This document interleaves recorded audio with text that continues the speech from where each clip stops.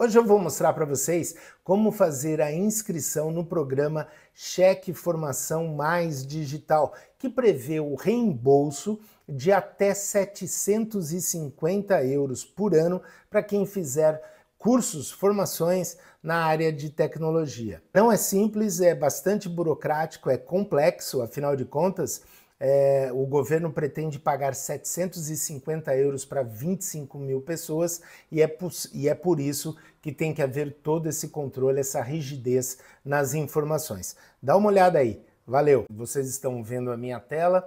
O primeiro passo é a gente entrar no site chamado IEFP Online. Aqui está o endereço, vocês podem ver aqui, olha, iefponline.iefp www.pt. Vem aqui no, no canto direito, clique em entrar e aqui ele te dá duas opções baseado na autenticação da segurança social direta. Isto porque eu já sou cadastrado. Então você tem a opção segurança social direta ou a autenticação.gov, quando você tem a chave digital. Eu vou entrar no segurança social direta. Cliquei aqui, e ele está dizendo que os seguintes dados serão transmitidos para a realização do serviço, que é baseado no meu NIS, que é o meu número de, de inscrição da Segurança Social. Confirmei e aí eu vou entrar nesta parte. Eu já, já vou bloquear aqui o, o acesso às minhas informações, os, as, o meu número da Segurança Social, por obviamente questões de segurança, e você vem em entrar, ok?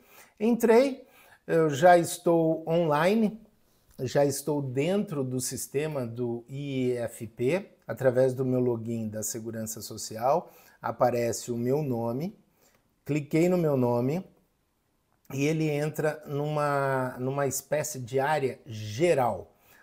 No canto esquerdo você tem um menu e você clica em candidaturas a apoios, que é exatamente a questão do cheque formação digital. Logo aqui na frente já vai aparecer aqui, ó, cheque formação mais digital, tem dois campos. Ignore esse passo e já vai direto nesse sinal de mais com a bolinha verde que tem no canto direito aqui embaixo, no canto inferior. Estão vendo, né?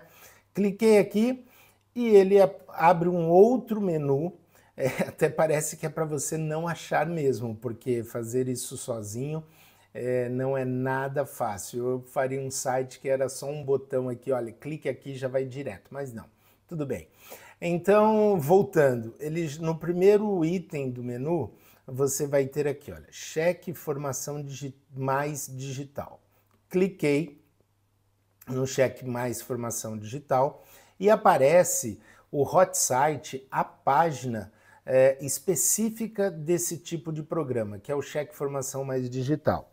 Aí ele mostra todas as informações baseadas, é, to, ele já mostra todas as informações é, resumidas, eu quis dizer, uh, para quem pode frequentar a formação. Então, nós temos ali uh, quem pode frequentar trabalhadores de uma empresa barra entidade empregadora, é, trabalhadores independentes com rendimentos empresariais ou profissionais, empresários em nome individual, é, sócios e sociedades unipessoais. E depois ele vem, ele fala um pouquinho é, sobre o financiamento, o que é, que é a capacitação e a candidatura. No, no canto direito tem um outro menu com várias informações, com links para você fazer download de documentos. Eu sugiro que você faça o download do regulamento específico, que é este daqui, olha. Pelo menos você pode ler com calma antes de fazer a sua inscrição, perder tempo, você vê se realmente esse tipo de projeto, de programa é para você, se você está capacitado, capacitado para fazer esse, esse projeto aqui, a formação, e depois receber o reembolso de até 750 euros. Lembram quando eu, quando eu falei que a medida cheque formação e o logo do programa, do projeto, são duas mãos trocando um cheque, na verdade não é isso. Na verdade, eles vão precisar de um IBAN da tua conta, você precisa ter uma conta em teu nome e é ali que o governo vai te reembolsar o dinheiro, ok? Então eu sugiro que você leia tudo isto que está aqui.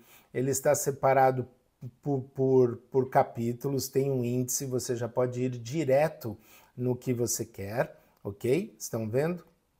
E aqui tem tudo, inclusive aqui diz quem pode, quem não pode, fala que inclusive o, o, trabalhador que tem a manifestação, que é de outra nacionalidade, no caso vamos, vamos pensar no, no brasileiro, que não tem autorização de residência, não tem visto, não tem cidadania, mas ele já fez a manifestação de interesse, ele pode participar. Mas, de novo, isso aqui é só para quem trabalha, para quem está trabalhando de forma legal numa empresa ou de forma independente, tá? O índice aqui de, de documentos que você pode ver, as fichas, é, regulamento, tem tudo isso aqui, a lei, a, como ela foi, a portaria, e depois aqui em cima, à direita, você vai ver submeter candidatura. Você clica aqui.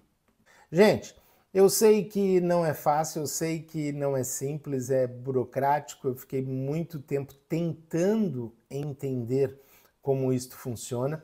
Tem muitas dúvidas ainda que eu não consegui esclarecer, porque é, por mais que eu tivesse estudado, lido, é, não ficou claro, por exemplo, se eu posso fazer uma formação online não ficou claro se eu posso fazer uma, informa uma formação, um curso com alguém dos Estados Unidos ou com alguém do Brasil ou com alguém de qualquer outro lugar do mundo. E hoje a gente sabe que muitos cursos na, na área de tecnologia, é, esses cursos são online. Uh, eu já mandei um e-mail lá para o IEFP, estou aguardando é, as respostas e assim que eu tiver a gente vai mostrar por aqui, tá bem? Aproveite e siga a gente no, no Instagram, siga a gente aqui no Portugal Online Oficial no YouTube. Compartilhe esse vídeo com seus amigos que têm interesse nesta formação digital e vamos divulgar isso para o maior número de pessoas, ok? Valeu, sou o Ricardo Ribeiro e até uma próxima.